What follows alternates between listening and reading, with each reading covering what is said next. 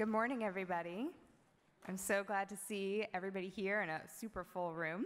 Uh, so, welcome to uh, New America's 2017 annual conference. I'm Veronica Mooney, Director of Events at New America. Uh, and we are thrilled to share the day with you in a room of 300 of our uh, best public problem solvers that New America has. Uh, I hope you've had a chance to grab breakfast and coffee right outside. If not, we'll still serve until about 9 o'clock. But in the meantime, as you get settled, we'd like to go ahead and set the stage on the work New America is doing to activate deep impact and the possibility of American renewal. To give some opening remarks and frame the discussion we'll have today, I'd like to welcome to the stage New America's President and CEO, Anne Marie Slaughter.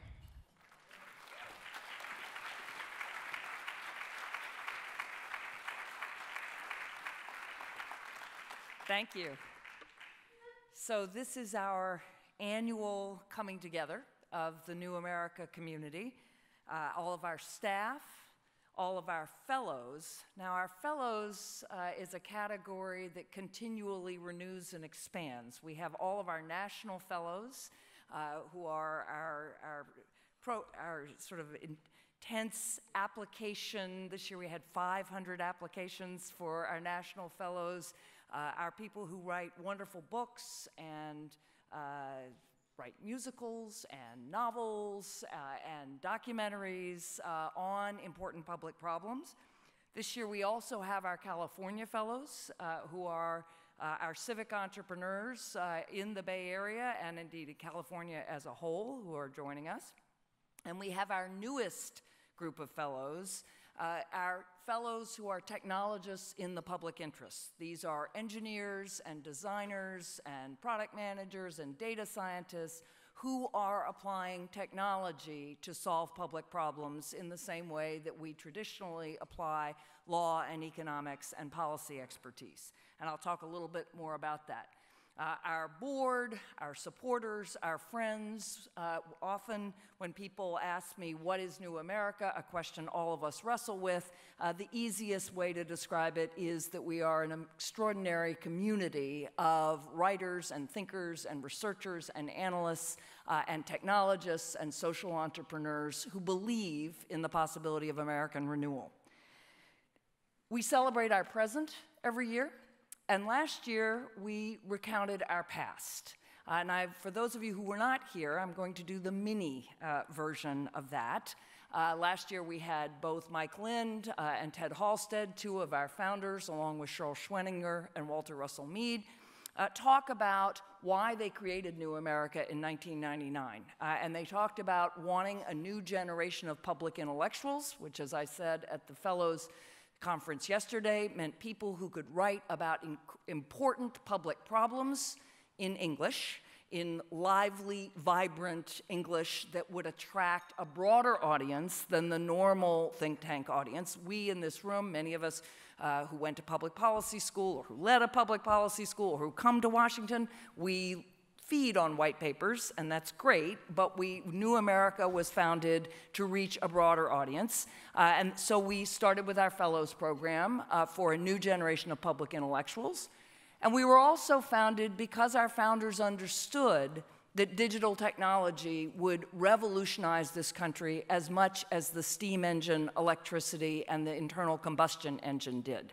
And that as it did, it would disrupt everything. That's an overused word, but it is an accurate word. It means how we work, how we live, how our families are organized. Everything about the dimensions of our lives is driven by these huge technological revolutions that take uh, often decades uh, to ripple through. So our founders actually didn't just say, well, we have disruption. They had a set of ideas uh, for the America that they saw coming. Uh, and Ted Halstead and Mike Lind published a book called The Radical Center uh, in 2001. Uh, and they had uh, a set of ideas around a new social contract, and indeed, a New America has worked on the new social contract or the next social contract uh, for much of our time. Uh, they had an idea of citizen based portable benefits that would replace employer uh, benefits, employee based benefits. Universal health, uh, this was again in 2001. They looked forward and said there is absolutely no way we can have the society we need without universal health. And New America played a key role in developing the idea of the individual mandate, which became the backbone uh, of the Affordable Care Act. Uh, and then finally, individual savings accounts uh, alongside means tested social safety net. So that was one set of ideas. Uh, it is not necessarily the ideas that all of us subscribe to now, but I offer it because we had a vision of needing new public intellectuals, needing new answers, uh, and indeed a view that those ideas would not come from the right or the left, but from what they called a home for the ideologically homeless. So that's our past, and today we're going to celebrate our present. You're going to hear from people uh, who are part of our community, who are working on all sorts of things all day long. But what I want to do in the rest of this talk is talk about our future, uh, the future of New America, and what I see as the future of America as a whole. So we're dedicated to renewing America in the digital age. Uh, and you, the, the theme of this conference is Renew uh, America. And as I said, at the core of much of our work are the problems and the opportunities created by digital disruption. What, we, what our founders saw in 1999 is ever more present uh, today. Uh, if I, one of the things we've done over the past year with Bloomberg has to uh, run the Shift Commission on the future of work, workers, and technology. We started with the premise uh, that the predictions for how many jobs will be automated range from 5 to 50 percent. Uh, if it's 50 percent or even 20 or 30 percent, you are thinking about wiping out truck driving, which is the largest occupation for men in most American states. And that's coming much faster than most people anticipated that it would.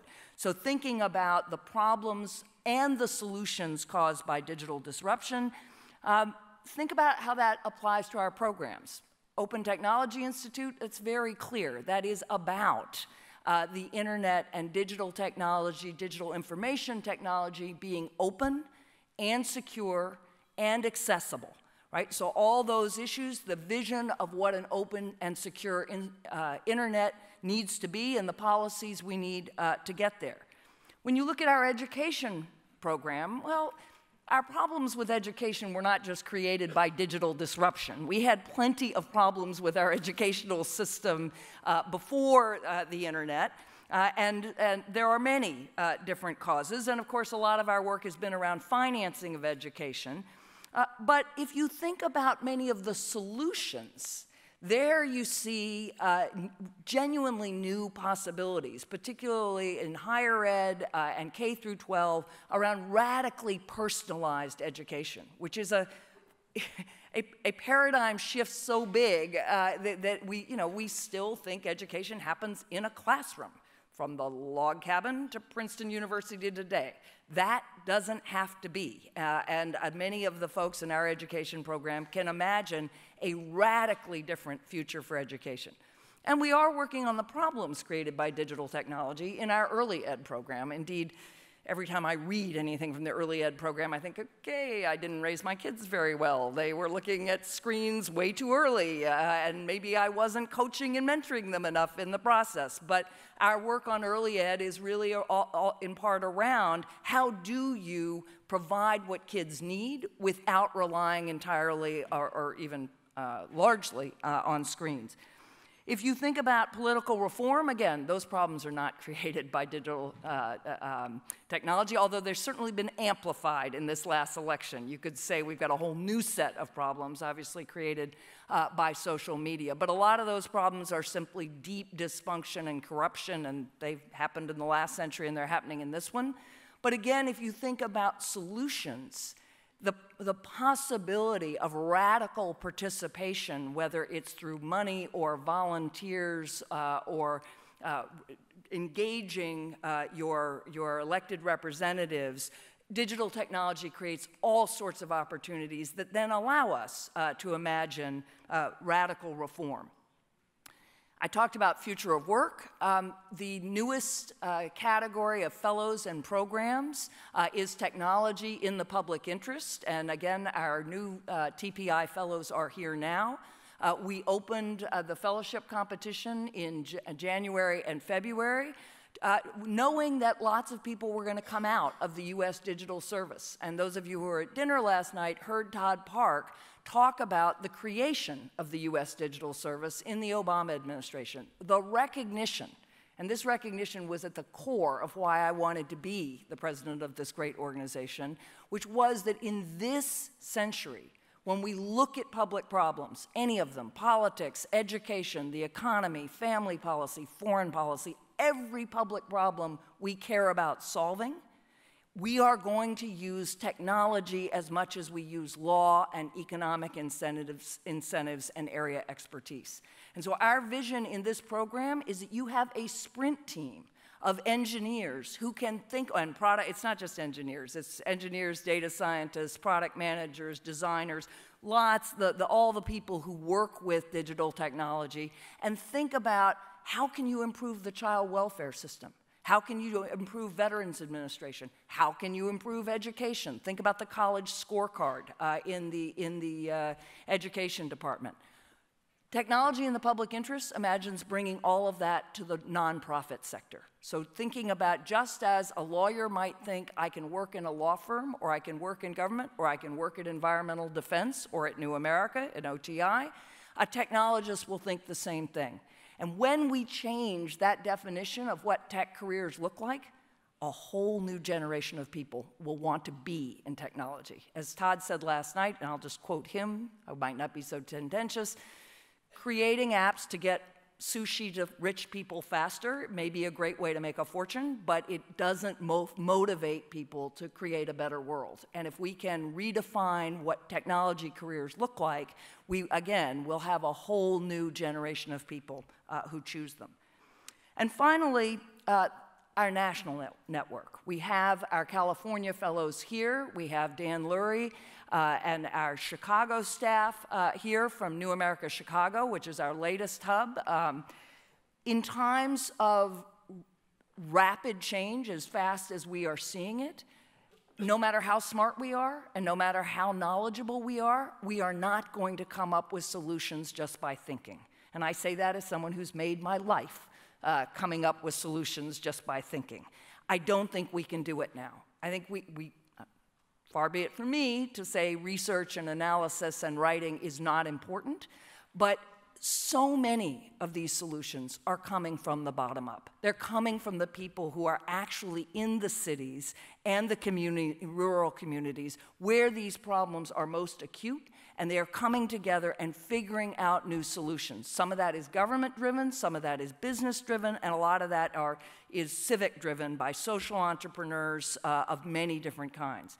So, the vision of New America as a national action network is a vision of a New America that has all the people in DC. Uh, who are doing the work we are doing, but we are connected to people in Indianapolis and St. Louis and Chicago and Chattanooga and New Orleans. I'm not I'm not predicting, don't go thinking these are places we are. I'm saying those cities across the country, and that our hubs in those cities are then connected to communities around the state. That is a network of national renewal. So that's why we talk about renewal in the digital age. Um, and I know that some of you think that's already dated. Um, I welcome another term. It was information age. I like digital age. I think it's much more accurate than information age. I welcome suggestions. Uh, it, digital technology does seem to me to be the key uh, uh, innovation that has given rise to so much of this, like steam or electricity. But we're open to suggestion if you can come up uh, with something better uh, than the digital age. But what I want to talk about now is why renewal? Why do we keep talking about renewal? Some of you hear that as just another way of talking about make America great again. Right? Some of you think renewal, that not just new America, but renewal, isn't that like a nostalgia for an older America that we want to return to? I don't think so, and I want to spend the rest of this time explaining why. So, Make America Great Again is nostalgia for an era in which um, we had rapid economic growth, we had post war prosperity, and we bestrode the world as one of two superpowers. It is also an America that was deeply segregated and deeply oppressive for women, I, am old enough that I have firsthand memories. I'm not going to say I grew up oppressed, but I certainly grew up without any opportunities for women. I did not know a single woman professor, doctor, engineer. I knew one woman lawyer. And obviously, for African Americans, for GLBTQ Americans, uh, for countless other minorities, that is not a time people look back to and say, gee, that was, that was great America. I get that. Um, but renewal is something else. It's not nostalgia for a particular period in American history, it's renovation. So think about the difference between a teardown and a renovation, between taking your house, and actually this is happening in Princeton, and wiping it out and starting over, and renovating an older building. So when you renovate, you keep the foundation. And in this country, I would argue the foundation are a set of values that our founders proclaimed, even if they didn't live up to them in the way that we expect them to live up to them today. Liberty, democracy, equality, justice, I would add tolerance and faith. But after those first four, people uh, can agree to disagree. Still, those values enshrined in our founding documents are the foundation. The frame is our Constitution reinterpreted, amended as need be, nevertheless, the same Constitution. We are not France. This is not the Fifth Republic. It is still the same Constitution, just like you'd keep most of the frame of a house that you were renovating. Again, you might change some, you might amend some, but it would be the core. And then you strip away things and often get, back, get down to something better. We are sort of past the the exposed brick in every building, but still, when you renovate, you often find beautiful things that were covered up. When you renovate, you also find things that once looked great and you now see as profoundly ugly and indeed dangerous, if you think about uh, the, what we often have to destroy when we renovate a building.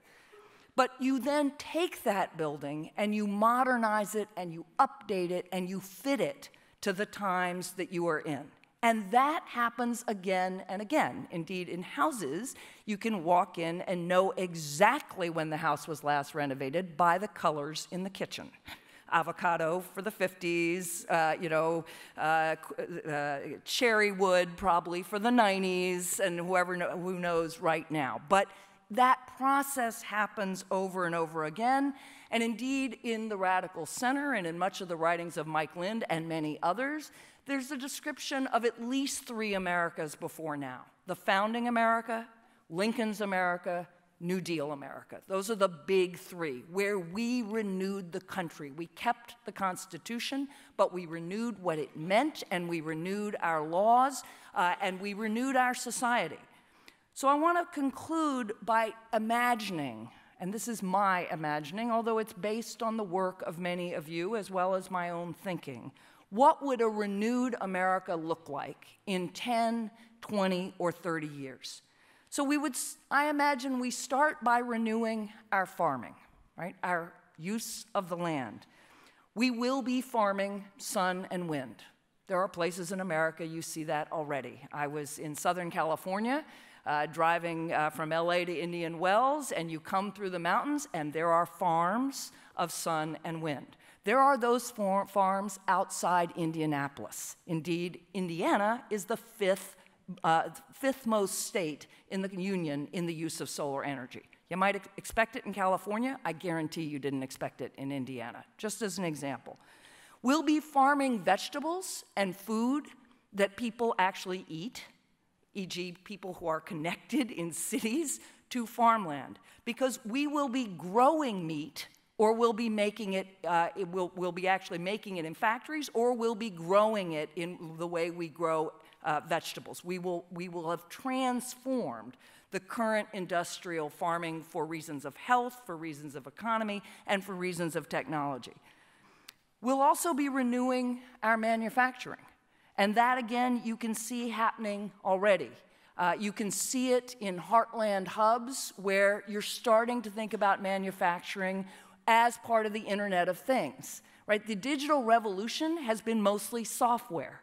It will now be increasingly not just hardware, but things. And where are the places in the United States that have manufactured things? They are not California and New York. They are the heartland. They are Cleveland and Chicago and St. Louis and Indianapolis and Minneapolis and many other heartland uh, cities.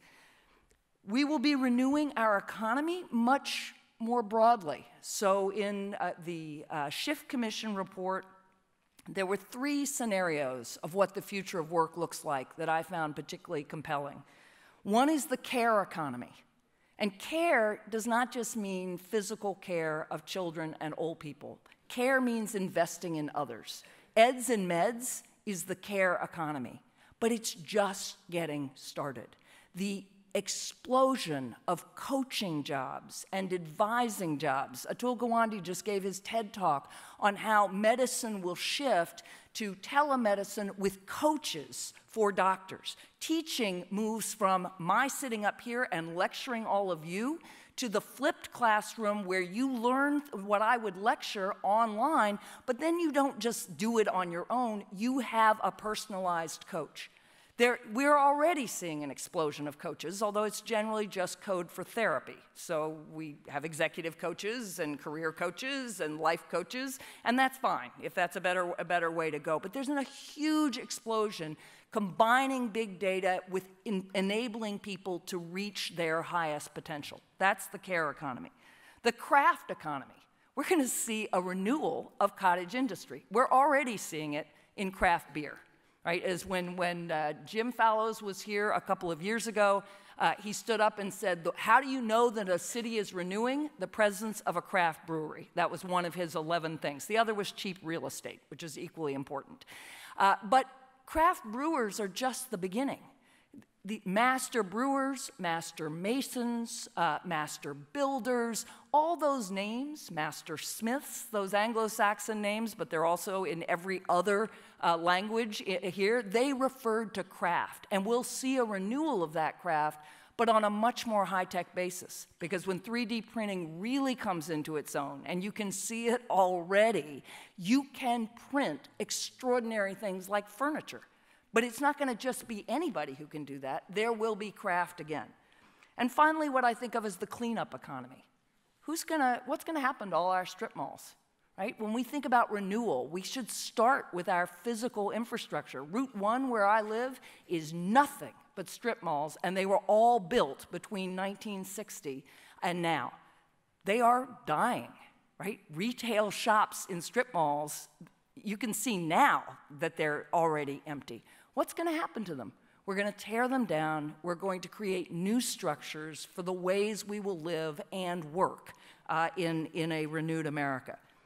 Few more things. Renewing our families. And here, uh, I don't know that Mia Birdsong is here this year. I think I celebrated her last year. But she's one of our California fellows who argues that the African American family is not dysfunctional, not this deviant departure from a, a two parent, two kid norm, but actually a deeply resilient and flexible and adaptable structure uh, to constantly change, to constant change uh, and, and often disaster. It's ways that people come together and support each other under rapidly changing circumstances. I would argue that all American families need to be that way, whether they are biological or, as is often much more the case, they're the people we love.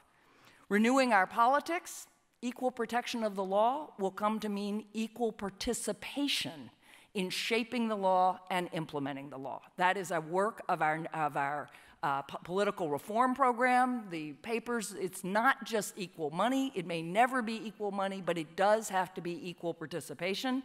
The work of Hollie Russon Gilman on participatory democracy, the work of many of our tech folks on how you participate in actively providing government services and monitoring the provision of government services. And finally, the, as I said, the renewal of our infrastructure. New America has always been on the forefront of renewing our physical infrastructure. Now we are working as hard as we can to ensure that our digital infrastructure is open to all. So, last, we can't renew this country if we all do not also renew our identity.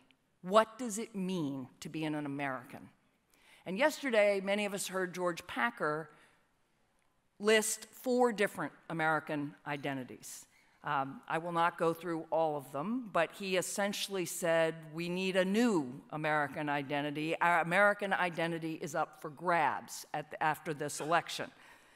And Marcia Chatelain, one of our uh, New America Fellows, uh, who is at Georgetown, uh, raised the question. She said, It's clear what our identity is. You, as a white man, just don't want to recognize it. You don't want to acknowledge that we have a deeply racist identity. And that's what came out uh, in this election. That, in fact, uh, the majority of Americans want to go backwards, want to go backwards to a world of segregation uh, and deep, deep, deep oppression uh, for African Americans. And then Zia Haider, another one of our fellows, a wonderful novelist, said, How can you possibly talk to the other side if you're calling them deplorables or racist or sexist or everything else? That is a fault line right now. And I'm going to be talking to Chimamanda Adichie about just that question. How do people address people on the other side of a horrific uh, political divide? I'll just give you my answer. There is no one answer, but it is a question we must grapple with and we must be able to grapple with openly. And at a place like New America, if we can't talk about it, God help the rest of the country. So we could take the view that we really need a second, we, we are effectively on the brink of a second civil war. There are people of color and their white allies on one side, and white Americans on the other, and the issue is white supremacy. Are we going to be uh, the country that many Americans appear to want us to go back to? Or are we going to be the America that, frankly, demographically, we know we're going to be, uh, which is a majority minority country with a different definition of what an American looks like? I don't think we can afford a second civil war. The first one was the bloodiest conflict uh, in our history, and even if it's not fought on battlefields, it will be fought in every city across the country, and the violence will destroy countless people. I think we need a concept of American identity that sees the best in each other while recognizing very clear limits as to what is legitimate in political discourse and in personal discourse. I think you can say, you can condemn racism where it, where it is, or sexism, or any other ism, but you can also look at people who voted differently and recognize the fear and the anxiety and the loss and the ignorance that underlies why they feel the way they do, and recognize it, hear it, and then respond to it. Um, to do that, we have to find good things in our past as well as bad. I grew up in Charlottesville, Virginia. Thomas Jefferson was a slave owner and he slept with his wife's half sister and fathered children with her. We know that. He was also a revolutionary. For his time, to say that all men were created equal, even if that meant all white men of property, was still revolutionary. It was the birth of something genuinely new. And those same words are there for interpretation. First, all men, then, all women, and then, really, all people, meaning not just on paper. If we can find some good things as well as bad things, if we can hear each other, if we can feel the emotion underneath the hatred and the rage and the, and the, the deep anxiety, we can find a common vision of a renewed America. And this organization can be an engine of that renewal. Thank you very much.